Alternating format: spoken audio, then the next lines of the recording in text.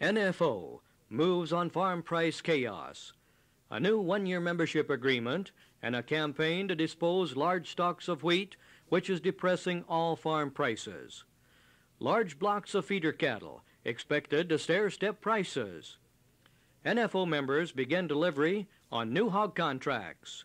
For more on these stories, here's NFO News analyst Phil Allen. As the price crisis in farm commodities and agricultural credit deepens, we turn to an important move by the NFO to combat it. Here is Oren Lee Staley, president of the National Farmers Organization, with a report on the NFO Board of Directors' decision to offer special one year memberships. Oren Lee? Well, Phil, the National Board of Directors had a meeting in the last week of July. Instead of adjourning the meeting, they recessed the National Board meeting to go out and talk to the members of the NFO and to farmers to find out really what the farmers and ranchers wanted to do. We were told time and again that many farmers and ranchers now realize that they have to unite for collective bargaining. But over the years, they had been told that the three year membership agreement was such that they couldn't get out and that it was so binding, which was not true, that they would be tied to something they couldn't get loose from. So we decided to have a one year membership agreement to be offered to the producers in this country of agricultural commodities, the farmers and the ranchers, that would automatically terminate at the end of one year. We have confidence in our nationwide system of bargaining that we know that we can deliver for the producers in this country and that we want to show our confidence because we have to perform immediately. Well, wasn't this decision to have special one year memberships tied to the present price crisis?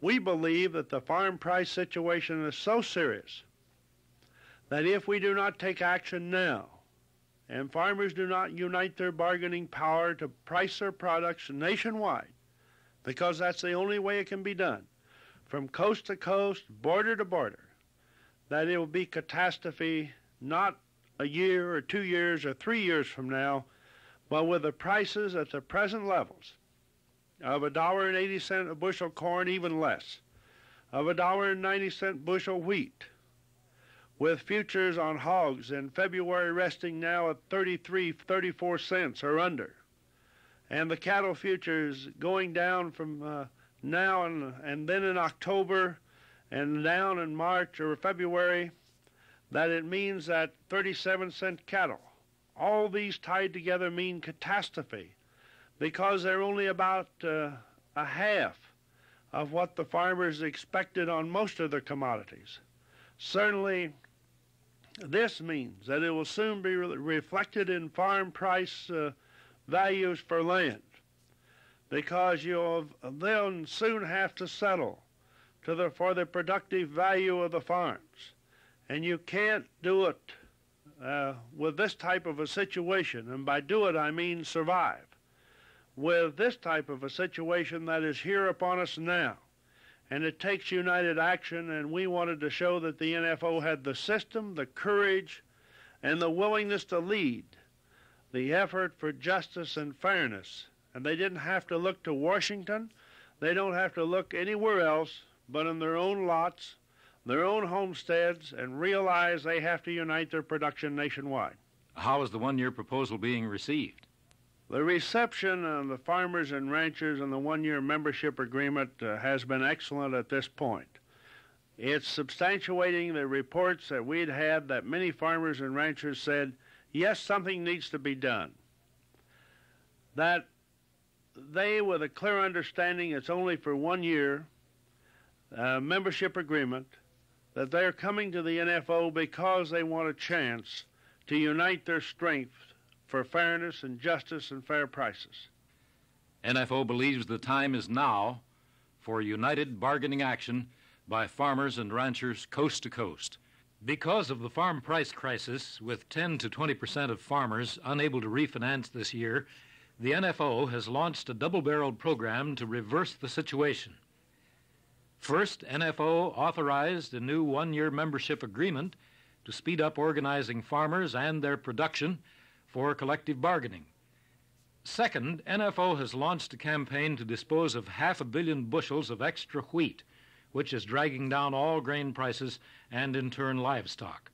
Oren Lee, supposing we begin by describing the NFO action plan on wheat. The board of directors of the NFO met, and after a long discussion and a lot of detailed information, took a good look at the real key problems that's causing a dollar and eighty cent corn or less a dollar ninety cent a bushel wheat, or causing uh, futures and hogs to drop to 33, 34 cents for uh, February, and for the cattle futures to be down to 37 cents or under. Uh, why and where was the main problem? And of course, the impact that was sure to follow on dairy. With these market conditions, what does the NFO plan to do actually? We've decided, on the facts at hand and from our own knowledge of farming, that cheap grain means, uh, means cheap livestock and cheap milk at the farm level. We also decided that it was a little foolish to let an extra five or six hundred million bushel of wheat uh, be in a position to kill the price on six billion bushel of corn, on a billion and a half bushel of soybeans, on another billion bushel of grain, on 75 million head of hogs to be slaughtered approximately in the next 12 months, and for 30 million head of cattle that will be slaughtered in the next uh, 12 months.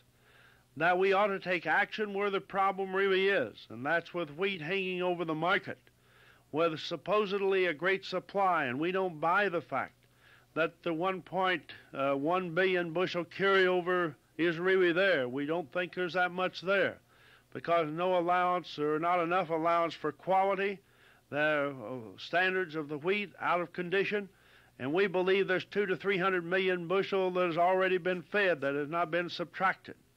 But we know that if we would immediately feed up five or six hundred million bushel, and I mean in the next three or four months, that if we'd feed that much wheat up, that this would take away the cloud hanging over all the markets because there's a good supply outlet on corn and soybeans for export. But as long as the world feels that we have this much wheat hanging over the head of agriculture in this country, then they don't feel there's any necessity of hurrying up buying. What effect would this have on the price? It means that then the grain prices could go up, and we're asking the farmers, the members of the NFO, to seal their corn and feed wheat.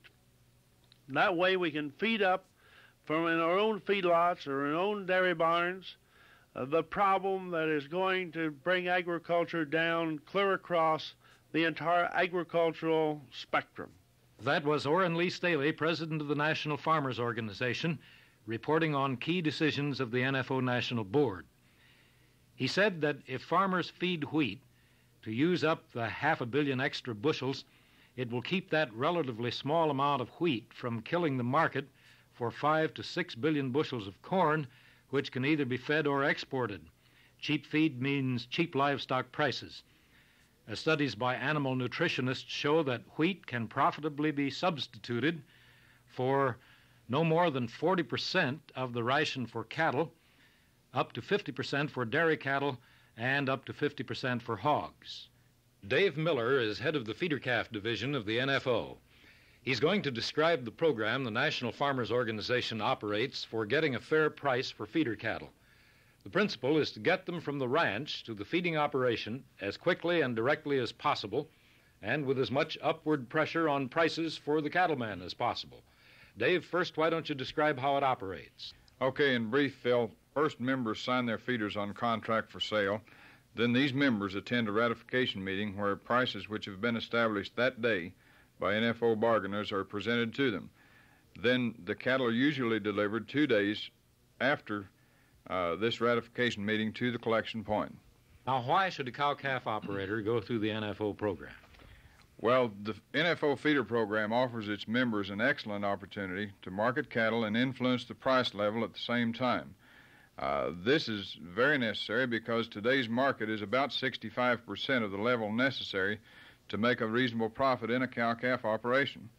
The cow calf operator today has the strength to influence the beef market because a very high percentage of the mother cows in the United States are owned by independent family farmers and ranchers.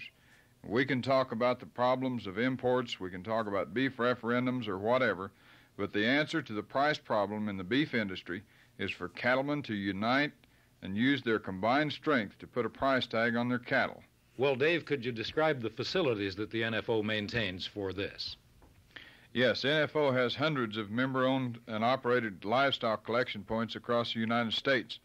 And By going through the NFO feeder program, the rancher can be assured that his cattle are going directly to the feedlot or backgrounder, thus eliminating the profiteering which has always been a part of the cattle business. Why don't you list the advantages that the cow calf operator would have with the NFO program? Yes, number one, your cattle will be sold in a way which will cause the market price of cattle to rise. This is done by taking cattle away from the buyers who have been buying them, causing them to bid up uh, the prices that they bid for cattle. Uh, number two, you know what the price and conditions of the sale will be before your cattle are delivered to the collection point. Number three, your cattle are protected from the farm through the collection point by NFO insurance. Number four, your receipts are protected by the constant check of the NFO credit department on all buyers and the NFO reserve in the unlikely case of a buyer payment failure. Number five, you know you receive honest weights and grades because these functions are performed by NFO members and staff. Well, those advantages really sound specific, Dave. Does this NFO program look toward the future effect on the market? Yes, at this time, Phil, we have NFO members across the United States who have already contracted their calves at this time for fall delivery at prices which are above the current market level. We feel this is necessary in order to put a floor under the market and give the farmer and rancher the advantage of pricing his product ahead of the time that he will deliver it. Well, Dave, why will this NFO pressure on feeder cattle help the whole cattle industry? If feeder prices are stabilized, Phil, this will give the feedlot operator a much stronger base to work from. That was Dave Miller, head of the NFO Feeder Cattle Division. He mentioned at the beginning of our conversation that there are ratification meetings in a given local area. These local meetings are really where the bargaining pressure begins. The negotiators submit to the ratification meeting a price for the cow calf producers to consider based on up to the minute data. The negotiators get this information by monitoring feeder prices on a nationwide basis through wire services and through hourly contacts with members and other feeders across the country. There's a good example of NFO contracting in Montana recently where the members put 2,000 head of this year's calf crop on contracts for fall delivery. NFO negotiators are now blocking at least 4,000 head for a contract price stair-stepped a dollar a hundredweight above previously quoted prices, and additional percentages are in the offing as the NFO blocks grow. The NFO Hog Division is conducting a big drive to supply new contracts that point the way toward cost of production clauses in hog contract negotiations. Here's Allen Skroch, head of the NFO Hog Division, telling what a challenge this ambitious project brings to the American hog farmer. We have signed many contracts with packers, and we are in the process of filling these. However, we have got to fill them to completion. We cannot come up with a portion of the numbers, or half of them, or three quarters of them, or 90% of them. They have to be filled 100%. It's no bluff, it's no propaganda, it's just the hard, cold facts that in order to renegotiate and improve upon these contracts, these contracts have got to be filled and filled 100%. There's no easy way about it. It's hard work and it's got to be done. Allen Skroch talks about the meaning and the future potential for producers in these new NFO hog contracts. We have accepted and ratified a contract with several of the major packers and a number of intermediate uh, packers. This is probably the most significant thing that has ever happened to the hog department since its inception.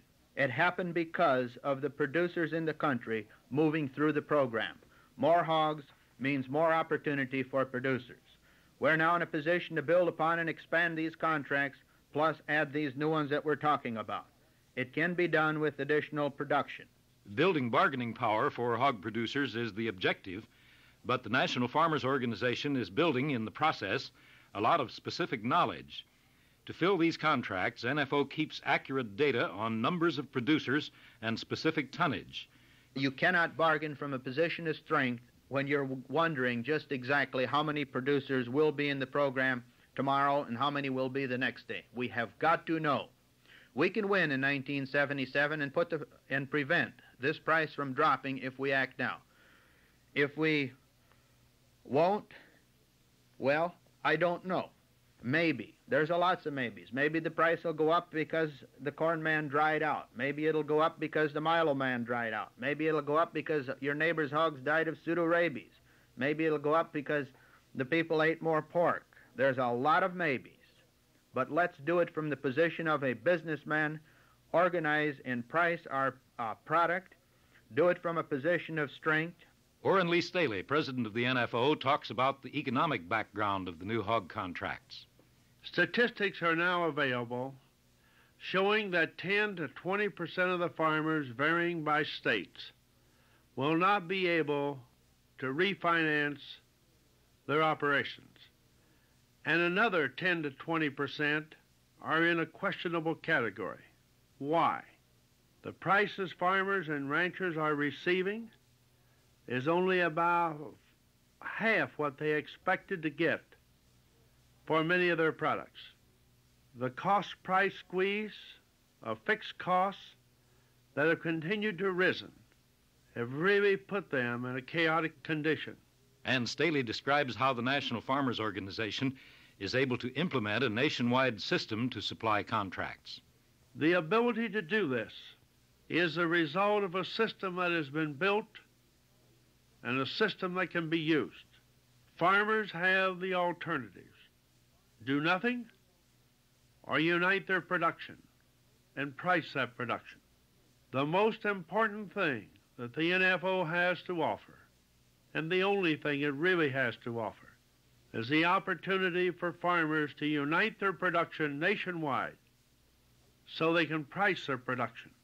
And that's what the hog producers must do. And that's what the NFO is all about. The NFO has been making the point today that putting bargaining power in the hands of farmers and ranchers takes more than the mere acceptance of the idea of collective bargaining. It takes, first of all, the experience and the putting together of the facilities for moving the product in the farmer's interest. Phil Allen for NFO News. And that for today is something to think about.